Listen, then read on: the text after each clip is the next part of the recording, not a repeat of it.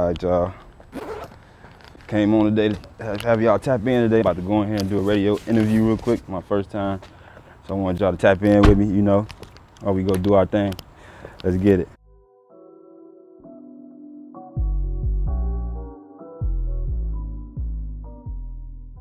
Oh, you scared me. Hey. I'm like, yeah. okay, you uh, on the camera too. Yeah. Hi. Hey, hello. How you doing? Uh, What's up? It's your girl Joy CJ. Robin E here in the building. Yes, y'all, and hold on, cause y'all know we love to keep it juicy on the juice now. Can we get get a round of applause for that, man? We, we need some round of applause going on in the background, uh, producer. Where you at over there? Look, we got our boy Kenny Smith in the building. For sure, for sure, for sure. How What's are up, you. Kenny?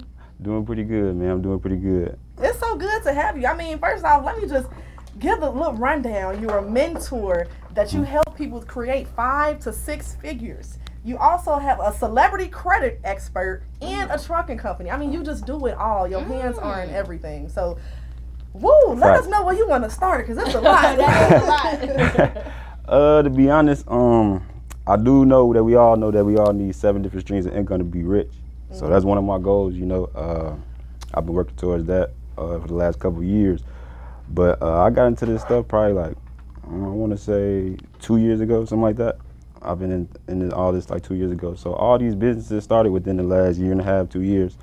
Um, so, what was the first one that you started? the first thing I invested in to start uh, was uh, ATM or vending machine. Let me see. Um, it was an ATM machine. Uh, Okay.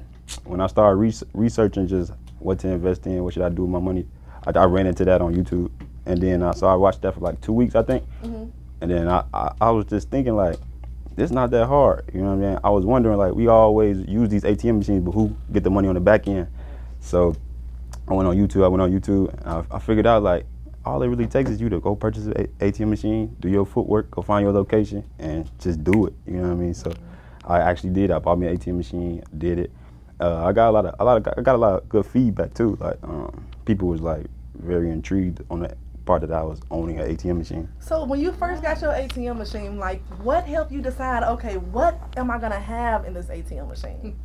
How did you think of that? Uh, I don't know to be honest. I don't know. I think I just I just literally was on YouTube just s- s- like searching little words. I don't even know exactly what word it was, but just searching little stuff. I think it just came up and I'm clicking on it, and it, it got interesting once I started clicking on it and learning. I'm like, damn, I can So, in your ATM machine, do you have what chips? What you have? What you selling me with? What you got in there? An ATM machine is money, girl. Look, why did I just say I'm trying to say, you thinking about a vending machine? Yep, yep. We knew what you meant though. We knew what you Yeah. meant when you said what I got both though. I got both though. So you know, That's I, probably- I yeah. do snacks in my vending machines though. Uh, I don't do it as much now. Is because all the other stuff I got going on that's like a couple steps ahead of that. So I don't really pursuing it that much. Uh, you know, because I got some bigger things going on. Nice, nice. Okay. I like that. I like that.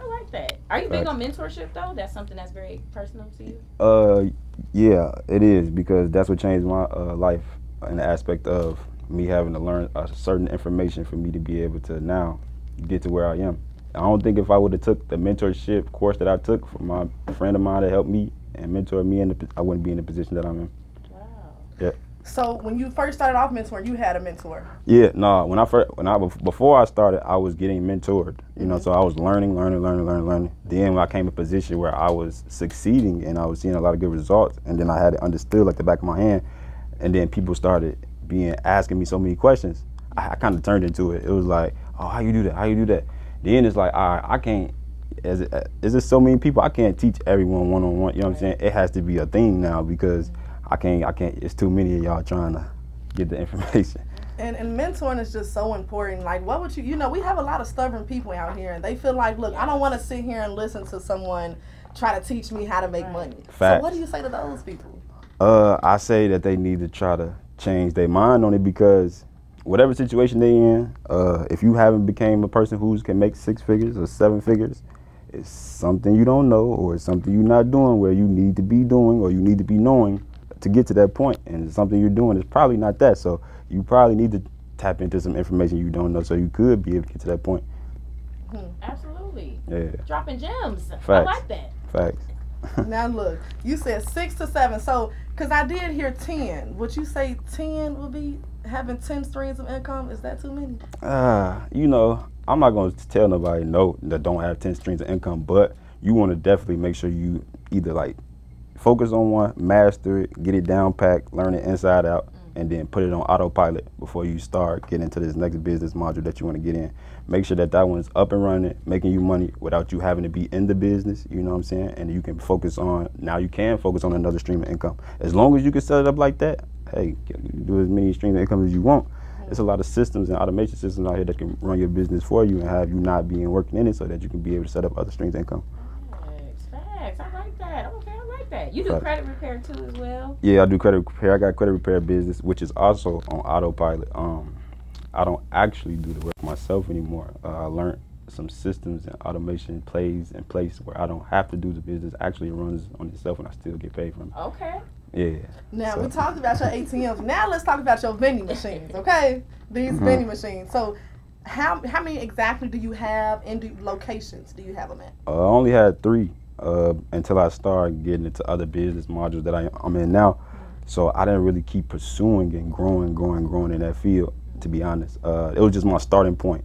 I feel like that's a good starting point point for people because it's a small investment and it's not so much as you're gonna lose so much money if something bad happens, and people be scared to jump out here and take that leap of faith. So that's something small that I would suggest somebody to start with. But the place I'm at now, I'm I'm trying to. I got some big investments going on. So. And what would you say to someone that's maybe afraid to step out and, and take that leap of faith? Um, we all heard no risk, no reward. That's true. Um, you can't be scared. It's like you can't. Uh, you holding yourself back from being able to, you know, prosper to maybe growing to some in six figures and seven figures. If you don't get out here, you ain't gonna be able to reach that point. It's like you scared. You holding yourself back. How you gonna reach next level in your life? You scared. Absolutely, absolutely. Hmm Words to live by. I like that. You have to. Right. Now you're doing so much. The next five years from now, where do you say where are you taking all this? Where do you see yourself? uh, next five years, uh, I think I'm gonna have like a an academy, like a school, like um, like a financial literacy type of school. E- even if it's online, or if I can maybe get to it being a location, I don't know uh, how to pursue it just yet. But uh, I feel like my brand is growing, and like uh, me teaching people is growing, and a lot of people is starting to tune in to me teaching and getting taught by me. So uh, I feel like if they keep growing like that, I would like to start some type of like financial literacy class or school academy type of thing, uh, and being rich. Okay. Ain't nothing wrong with that. Ain't nothing wrong with Facts. That. And that's what we need. I definitely feel like in school they don't really teach us too much about you know filing taxes and uh and credit and I definitely don't remember how to fix my credit in school. No, definitely not. That's the most worst thing about school that there is that they don't teach credit, and it's the foundation of everybody's life, which is crazy. So that's why I got so invested into credit though, because uh, I figured if this is the foundation of our life and what we need to use to get our cars, houses, phones, and credit cards, stuff like that, I need to master that 1st You know what I mean? If I can master that, I should be able to do pretty good in life. Okay. Now speaking speaking of things you master, let's just also talk about how you're like the marketing king. Okay. Yeah. Like if y'all not following him on Instagram, y'all have to. So I'm gonna Mhm. bring this up and you just let us know what happened. So you was just recently posted on the Shade Room Mm-hmm. by a funny little joke you did at the Okay. airport. Uh, uh, yeah, I knew that was gonna be funny when I did it. Uh, I learned my marketing tactics from somebody else, uh, a mentor of mine, my marketing mentor. Uh, I really haven't tapped into him just yet, but I've been following him on like social media. I just been learning from him off the content he give off social media, social media, and what he tell people on the social media for free. And I actually bought a book of his, so it was like a, it was like a thirty dollar ebook. It was like uh, his name Neo Davis. Uh, y'all can look him up on Instagram, but it's like it was called Seven Steps to Grow Your Instagram and to Make It into a Money Making Machine. That's what it was called. And I read it, uh, and then he told he told me a few things. He told people like to do this, do this, do this. This is what helped me grow my Instagram, and this is what helped me start my marketing stuff. I followed his exact steps. The crazy thing is, it started working. Like it started. My, I had like eight thousand followers on Instagram at first. When I first started all this, I had like eight thousand followers. Now I'm at like 30, 34,000 followers using them tactics. wow. And, and what's the name of this uh book again? Uh, seven steps to grow your Instagram into a money making machine. Y'all heard that. Okay, Seven look. Let me go uh, pre-order. Uh, Yeah, monetize your Instagram. I have to. But Mhm. Robbie, I know uh your your topics. Go ahead and bring Oh, them of in. course, of course. So I do just want to ask you real quick. I don't know if you tuned in or not this weekend, but you know, Space Jam two came out. Yeah, I seen I seen all the, the commotion on internet about it. Uh, I have not watched it though. To be honest, I You're don't. not Even, gonna watch it. I'm gonna try to watch it. I just haven't got to it. I don't watch TV no more. You Uh, have kid. You have. Uh, don't you have um? I have a daughter. Yeah, but it's for the kids. It is for the kids, but you know, Space Jam is like for everybody in a, in a sense. You know what I'm saying? But it's look. more. It, it's for the kids, but you know, it's Space kids, Jam though. It's LeBron though. Like so, that's that's we watch basketball. You know. Do you feel like LeBron should have went ahead and did like his own type of legacy movie, quote unquote, or you feel like it was cool with him being LeBron and just go ahead and do like a Space Jam continuation? I think that was pretty cool, man. I think people over exaggerating about it not being like oh the old Space Jam. First of all, like you said, it's not for us adults, bro. It's not for us to be liking and trying to be the best movie ever to us anyway. So it's for the kids, man. I'm sure the kids will like it. Yes. Yeah. I loved it. It was bomb. Okay, the movie was mm-hmm. good. It was two hours, but it was great. Ooh, okay. It was worth it. Zendaya was in there. Don Cheadle was in there. It was good. So It's check really it out, y'all. Check that out. See, I didn't see it yet, so that's definitely on my list. But all I heard, I heard a lot of adults talking about it, and like you said, it's definitely for the kids. You know. Yeah. It definitely. is. Everybody over exaggerating on social media about it though. Yeah. All the gr- adult people, grown people. Look, Yeah. They act like when Space Jam came out back then, it was so raw. Like we was like eight or nine. It wasn't raw back then either. We was just kids. it, it was raw though. Look, like, was, um, I ain't gonna lie, Space Jam was cold. now, Kenny, you have so much going on. Let us know. Do you have any um any lectures coming on? Any events? Anything coming up that we should know about? hmm Actually, uh, I got my first in-person conference that I'll be speaking at in Atlanta, um, August seventh. I just got invited on to this uh, big event. It's gonna be like eight speakers. Uh, actually, it's gonna be like six or seven millionaire, millionaire and multi-millionaire speakers. Uh, it's gonna be on the stage with me as well. So that's gonna be my first conference. I'm excited about that. That's huge. Nice, And um, I'm actually gonna announce this soon. I ain't announced it yet, but I'm gonna throw my own conference back back at home in Chicago in September. So it's gonna be like an entrepreneur like networking event. Uh, I might book like a yeah yeah for fa- fact. I might book like an artist or something on the back end to uh, have some fun after we get all the, talking about the money and, and talk about the uh, businesses and stuff like that. Look, so I'm gonna set, I'm gonna set something up. Look, and you Yeah. know they had a juice in there. okay, Okay. we need to Nah, be up in there. Now we can, we can set something we can set something up for, For sure. sure. Uh-huh. Thing, and that's I always say, you know, I always love to ask people like, what are some things that we should bring to Chicago? You know, um, just speaking of artists, you know, a lot of artists always say they feel Chicago don't show love, but just coming from a, a, such a successful entrepreneur like yourself, what that event is vital. You know, just meeting other entrepreneurs all throughout the city is something we need. Uh, I think that's that's why I did it. Um, I think we need more events to happen like that because I have been going to them type of events in other places, and the motivation I get out of that, and the, the people around me that I'm seeing and my peers that's next to me doing it, coming with me and stuff. I see I see a lot of motivation and people uh, actually taking action after that. You know, uh, I feel like if we had more of those for people to attend, that'd be somewhat of helpful. You know, if people were interested in actually you know going to do it. yes.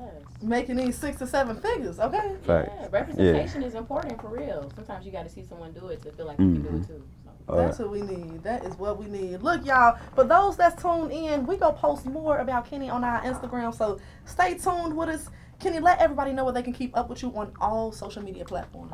Uh, mainly all my stuff is Smitty the Goat. So it's uh my Instagram handle is uh, underscore Smitty the Goat S M I T T Y T H E G A G O A T underscore. Yeah. Uh, and Twitter too.